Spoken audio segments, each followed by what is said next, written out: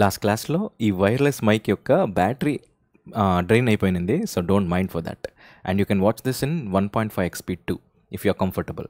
Last క్లాస్లో ఎక్కడ ఉండిందండి? I think if I'm not wrong absolute refractive index చెప్పాలి. రిఫ్రాక్టివ్ ఇండెక్స్ అయిపోయింది with respect to two. One medium one with respect to two అనేది చెప్పాం. ఎప్ will start with the continuation of that. First మనకి ఏముందో అది చూద్దాం. Refraction of light. Refraction of light అంటే ఏంటండి? దిస్ ఇస్ సింపుల్ ఒక లైట్ ఒక మీడియం నుంచి ఇంకొక మీడియం లోపలికి వెళ్తే దాని యొక్క డైరెక్షన్ చేంజ్ అవుతుంది. ఎట్లా చేంజ్ అవుతుంది? ఏంటి అనేసి that is what we are going to discuss సింపుల్గా చెప్పాలి అంటే స్పెసిఫిక్గా ఇంకా let me tell you suppose ఒక మీడియం ఉంది.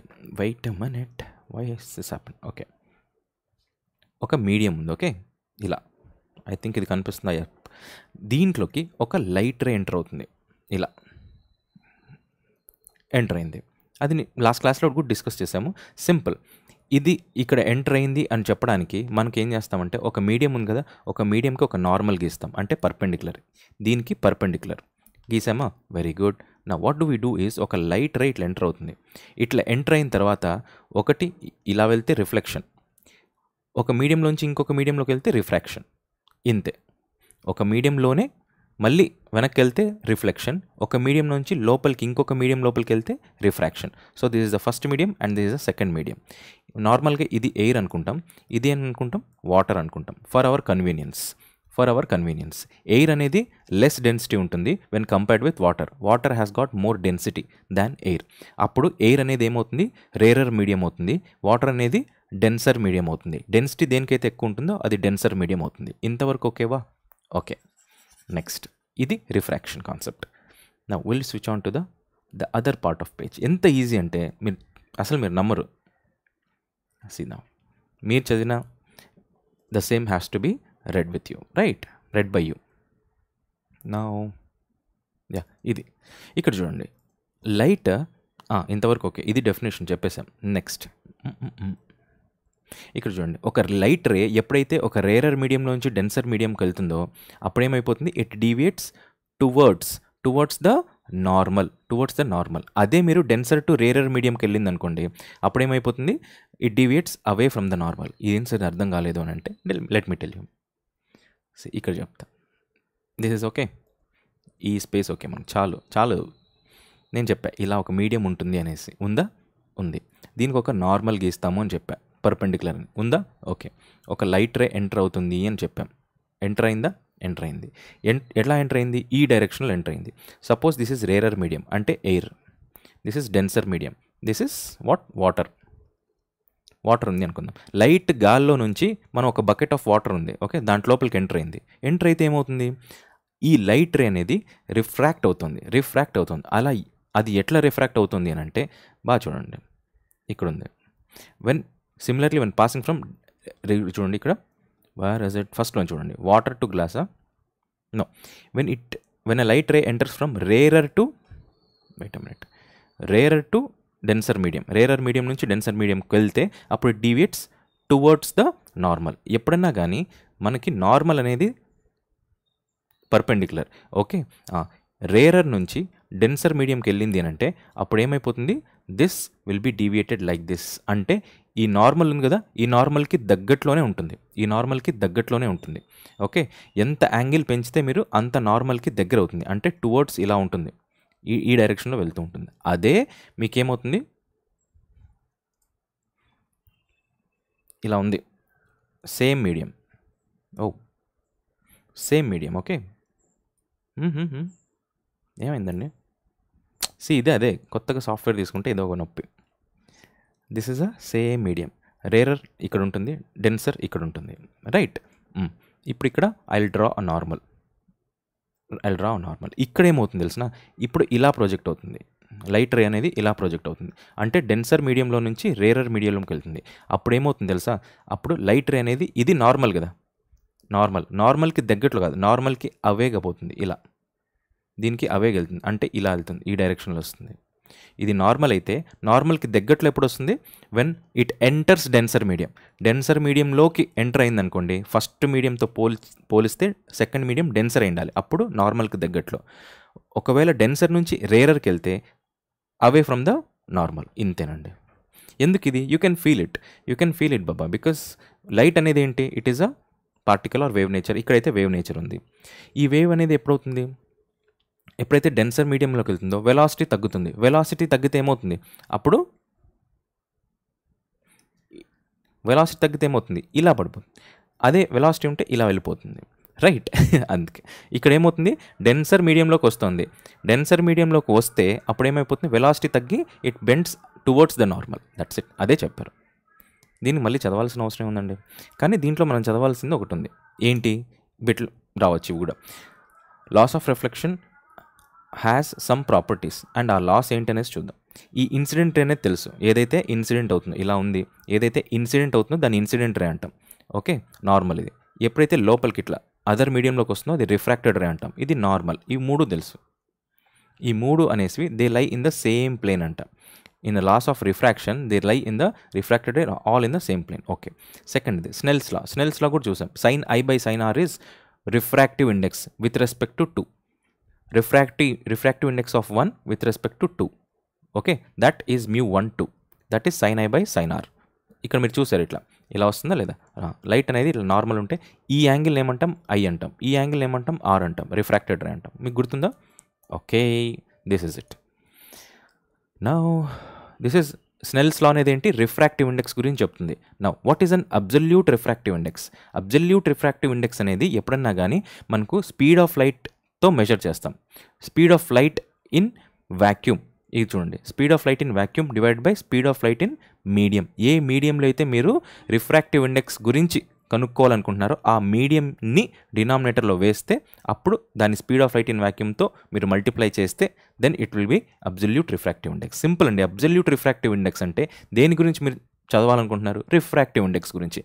అదే కదా రెఫరెన్స్ కాబట్టి దాన్ని డినామినేటర్లో వేయండి. Refractive index speed of light in that medium. Next పైన ఏముండాలి absolute. Speed of light in vacuum ఉండాలి. అదే అబ్జల్యూట్ రిఫ్రాక్టివ్ ఇండెక్స్. గుర్తుంటుంది.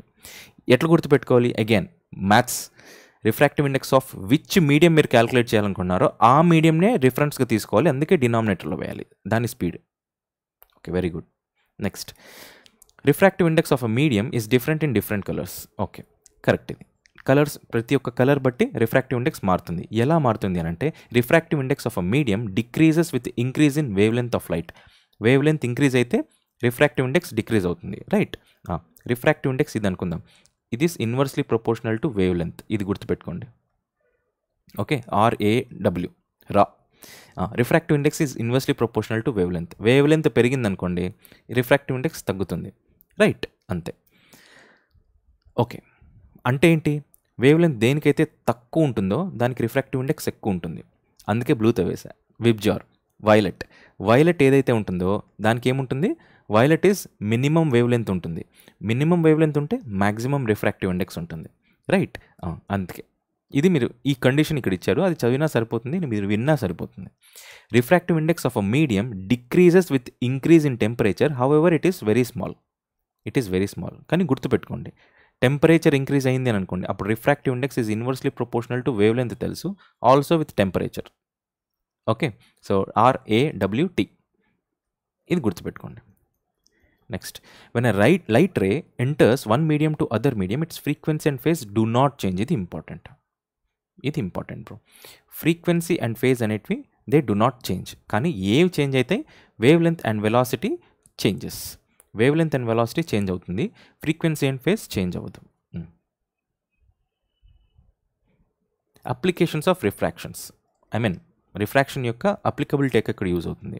సింపుల్. ఒక లీనియర్ ఆబ్జెక్ట్ అనేది ఎప్పుడైనా ఒక లిక్విడ్లో ఉందనుకోండి మీరు పెన్ తీసుకొని బకెట్ వాటర్లో ఉండి అది బెండ్ అయినట్లు కనిపిస్తుంది. That is because of refraction twinkling of stars is also because of refraction refraction ఓ ఎప్పుడైనా సన్ సూర్యుడు ఉదయిస్తూ ఉంటాడు లేదా సన్ రైజ్ ఆర్ సన్సెట్లో ఓవల్ షేప్లో ఉంటాడు.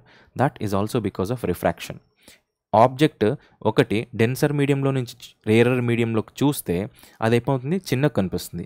That is also because of refraction right ఈ నాలుగు పాయింట్లు laws of refraction I mean applications of refraction now okay ఇంతవరకు ఓకేవా okay I'm telling you each and every sentence by sentence okay so that you your time in reading must not get wasted and must be productive and effective అదే నా తప్పనంతా okay next ఇక్కడ చూడండి. That is why a fish in a pond when viewed from air appears to be at a smaller depth one the than the actual depth ఎప్పుడన్నా కానీ eagles కానీ నీళ్ళల్లో వెతుకుతూ ఉంటాయి వాటి ఫుడ్ని అప్పుడు ఏమనిపిస్తాయి ఆ ఫుడ్ పైన పైనే తేలుతున్నట్టు అనిపిస్తుంటాయి. కానీ అవి లోపల ఉంటాయి first point A B a coin in the base of a vessel filled with water appears raised ఎప్పుడైనా ఒక కాయిన్ వాటర్ కాయిన్ బకెట్లో వేయండి. అది కాస్త మీకు ఎంత లోపలికి ఉందో అంత లోపల ఉంది అని కనిపించదు పైనే కొంచెం దగ్గరే ఉన్నట్లుంది చెయ్యి ఇట్లా పెడితే అందిపోతుంది అనమో అన్నట్లుగా అనిపిస్తుంది. This is also because of refraction c water tank appear shallower when viewed from the top మీరు వాటర్ ట్యాంక్ చూడండి. మీ పైన వాటర్ నిండిందా లేదా అని ట్యాంక్ చూస్తూ ఉంటారు. చూస్తే మీకు ఇంకా కిందే ఉంది అనిపిస్తుంది. బట్ ఒక్కసారి హైట్ కంపేర్ చేసుకుంటే మీరు దాదాపు మీ ఇక్కడ వరకు వచ్చి ఉంటుంది. రైట్ థౌజండ్ లీటర్స్ అయితే. This is also because of refraction next critical angle ఇది ఇంపార్టెంట్ ఈ చిన్న చిన్న అప్లికేషన్స్ ఎందుకు ఇంత ఫోకస్ చేస్తున్నాము అంటే it is the most important thing ఏవైతే మనం వదిలేస్తామో క్వశ్చన్స్ అక్కడి నుంచే వస్తాయి. నెక్స్ట్ క్రిటికల్ యాంగిల్ ఈ క్రిటికల్ యాంగిల్ గురించి చెప్పాలంటే నేను ఒక సేమ్ డయాగ్రామ్ వేయాలి మళ్ళీ. సపోజ్ ఇలా ఉంది. ఓకే ఇది రేరర్ మీడియం ఇది డెన్సర్ మీడియం ఎప్పుడైతే ఒక లైట్ ఇట్లా ఫార్మ్ ఇన్సిడెంట్ అవుతుందో సపోజ్ ఇట్లా ఇన్సిడెంట్ అయింది ఓకే? ఐ యాంగిల్ ఐతో. ఇప్పుడు ఏమవుతుంది ఈ నార్మల్కి అవేనా? టూ వర్డ్సా? టూ వర్డ్స్ టూ వర్డ్స్ ఇలా ఓకే? ఈ ఐ పెంచే కొద్దీ మీరు ఏమవుతుంది అని అంటే ఈ ఐ సపోజ్ ఇలా ఉంది. ఇలా ఉంది అనుకుందాం ఇన్సిడెంట్ ఐ. అప్పుడు ఏమవుతుంది ఇలా ఉంది. నెక్స్ట్ ఐ పెంచే కొద్దీ సారీ. ఇలా ఉంది. ఐ పెంచే కొద్దీ ఏమవుతుంది అంటే ఇలా వస్తుంది. ఐ పెంచే కొద్దీ ఇలా వస్తుంది. ఒకానొక యాంగిల్ ఆఫ్ ఐ దగ్గర ఏమవుతుంది అంటే ఒకానొక యాంగిల్ ఆఫ్ ఐ దగ్గర ఏమవుతుంది అంటే ఇలా యాంగిల్ ఐ వచ్చేసరికి ఓకే ఇది రిఫ్రాక్ట్ అవ్వదు. రిఫ్రాక్ట్ అవుతూ అవుతూ అవుతూ యాంగిల్ పెంచే కొద్దీ ఇలా ఇలా ఇలా వస్తూ ఏమైపోతుంది? ఎగ్జాక్ట్గా మన ఇంటర్ఫేస్ రెండిటి మీడియం యొక్క ఇంటర్ఫేస్ దగ్గరకు వచ్చేసి ఇలా రిఫ్రాక్ట్ అవ్వడం మొదలవుతుంది. That point of angle I is equal to critical angle the angle at which the refraction or the refracted ray joins the interface that angle is called critical angle got it అదే ఉంది ఇక్కడ. Next దీని extension చెప్తా. ఎప్పుడైతే ఒక incident ray అనేది I కంటే ఎక్కువ సపోజ్ ఇట్లా వచ్చేసింది ఇదేమైంది? గ్రేటర్ దాన్ అయ్యా కదా. గ్రేటర్ దాన్ అయ్యింది అనుకోండి ఇది ఇక్కడ నుంచి ఇక్కడ నుంచి ఇలా డైరెక్షన్లో వచ్చింది. యాంగిల్ ఐ పెరిగినందుకు. కొద్దిగా యాంగిల్ ఐ కంటే ఎక్కువ పెరిగినప్పుడు ఏమవుతుంది? It starts reflecting not refracting అంటే ఏ మీడియంలో నుంచి వచ్చిందో అదే మీడియంలోకి పంపించేస్తుంది. When the angle of incidence is greater than critical angle critical angle కంటే ఎక్కువ ఇన్సిడెంట్ యాంగిల్తో మీరు ప్రొజెక్ట్ చేస్తే అది రీఫ్రాక్ట్ అవ్వదు రీఫ్లెక్ట్ అవుతుంది. అందుకే దట్ టైప్ ఆఫ్ రీఫ్లెక్షన్ ఏమంటాం? మనము టోటల్ ఇంటర్నల్ రిఫ్లెక్షన్ అంటాం. అదే ఇక్కడ ఇచ్చాడు. Okay? Okay.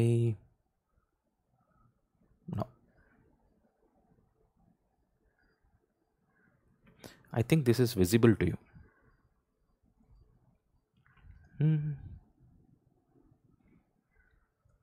okay this is it it. Total interaction yeah total internal reflection అనేది ఏంటి? టీఐఆర్ టీఐఆర్ అనేది ఏమవుతుంది? ఇక్కడ కంప్లీట్ టోటల్ లైట్ ఎనర్జీ అనేది ఇట్ ఈస్ రిఫ్లెక్టెడ్ అంట. No part is absorbed or transmitted that's it next ఇక్కడ for every TIR there the light must be propagating from denser to rarer అంటే ఏంటి? ఏదైనా total internal reflection కావాలి అని అంటే the criterias denser నుంచి rarer మీడియంలోకి వెళ్తూ ఉండాలి. Right okay first point this is why if light goes from water to glass total internal reflection will not take place అందుకే వాటర్ వాటర్ అనేది ఏంటి? It is less it is rarer medium when compared to glass less density అందుకు అక్కడ TIR జరగదు. TIR జరగాలంటే first point గుర్తుండాలి. Denser to rarer పోవాలి. Next angle of incident incidents must exceed the critical angle ఇది first పాయింటే చదివేశాం. Okay ఫస్ట్లోనే క్రిటికల్ యాంగిల్ చదివేటప్పుడు. ఈ రెండు గుర్తుపెట్టుకోవాలి బస్సు. ఈ రెండు అడుగుతాడు. ఎందుకంటే అసెషన్ అండ్ రీజనింగ్లో అడుగుతాడు. లైట్ అనేది డెన్సర్ టు రేరర్ అంటాడు. కరెక్టా కరెక్ట్ నెక్స్ట్ క్రిటికల్ యాంగిల్ కంటే ఎక్కువ ఉండాలా? తక్కువ ఉండాలా? ఎక్కువే ఉండాలి. ఇలా అడుగుతాడు. నెక్స్ట్ ఈ టీఐఆర్ యొక్క ఇల్లస్ట్రేషన్స్ చూద్దాం. Sparkling of a diamond mirage mirage అని తెలిసిందే కదా మీకు? లూమింగ్ తెలిసిందే కదా? Shining of air bubble in water తెలిసిందే కదా? ఇవన్నీ examples of reflection TIR total internal reflection increase ఎప్పుడైతే సన్ సెట్ అవుతుండో అప్పుడు ఓవల్ షేప్లో కనిపించేది రీఫ్రాక్షన్. సన్ సెట్ అయిపోయిన తర్వాత కూడా కొద్దిగా కాంతి ఉంటుంది. That is because of reflection TIR total internal reflection okay ఉదయించేటప్పుడు కూడా సన్ వచ్చిండాడు కానీ వెలుగు వచ్చి ఉంటుంది that is because of total internal reflection okay shining of smoked ball or a metal ball on which lamp soot is deposited when dipped in water ఇది కూడా అంతే కదా. This is also because of TIR total internal reflection జరుగుతుంది because the density of water is is yeah density density of water వల్ల కూడా మనకి ఇది TIR అనేది జరుగుతుంది. This is all the this is all or examples ఇది పెద్ద example రాదు బట్ ఈ ఎగ్జాంపుల్స్ మాత్రం ఇంపార్టెంట్ అవుతాయి. One two three four okay applications ఈ టీఐఆర్ అనేది ఆప్టికల్ ఫైబర్స్లో అప్లై అవుతుంది. అందుకే మన తమ్నేల్ కూడా ఆప్టికల్ ఫైబర్ ఉంది. So optical signals with two dimensional pictures. Okay? Next electrical signals by converting them into light first లైట్ని ఎలక్ట్రిక్ కన్వర్ట్ చేస్తారు. దెన్ సారీ ఎలక్ట్రిక్ని లైట్ కన్వర్ట్ చేస్తారు. Then it is transmitted into optical fibre through TIR next body యొక్క what is is endoscopy అనేది ఒకటి ఉంటుంది. ఎండోస్కోపీలో use చేసే పద్ధతే టీఐఆర్ టోటల్ ఇంటర్నల్ రిఫ్లెక్షన్ ఇంతవరకు చాలు. Next refraction of light through lens okay I think it is okay now refraction of light through lens మీకు తెలుసు concave lens and convex lens అనేవి ఉంటాయి. ఈ కాన్కేవ్ కాన్వెక్స్ లెన్స్లో అసలు ఏంటి? వీటి ఫోకల్ లెంత్ ఏంటి? వీటి ఆప్టికల్ ఇవి ఇవి ఫోకల్ లెంత్ అంటాం. ఓకే ఇది ఆప్టికల్ సెంటర్ అంటాం. ఈ ఆప్టికల్ సెంటర్ అంటే ఏంటి? ఫోకల్ లెంత్ లెంత్ రెండు ఉంటాయి. అండ్ వాట్ ఇస్ దిస్ దీని యొక్క కన్వర్జింగ్ ఏంటి? డైవర్జింగ్ ఏంటి? దీని యొక్క వాట్ ఇస్ దిస్ ఇమేజ్ ఎట్లుంటుంది? ఎరెక్టెడా? ఆర్ ఇట్ ఈస్ ఇన్వర్టెడా? ఇవన్నీ మనం చూద్దాం. బట్ దిస్ ఒక్కసారి స్టార్ట్ చేస్తే ఈ కాన్సెప్ట్ అనేది కంప్లీట్ అయిపోవాలి. Hence let us discuss this in the next video session and ఒక one of our subscribers asked Lucent and సఫిషియంటా కాదా? అనేసి. I tell you that first ఈ lens convex and concave lens అయిపోగొడితే refraction part అయిపోతుంది. Next scattering and polarisation ఉంటుంది. అసలు అరిపిస్తుంది. దాంట్లో నేను మీకు చెప్పేస్తా whether Lucent is sufficient or not ప్రాక్టికల్గా చెప్తా. You know that so let me meet you in the next video session thank you and bye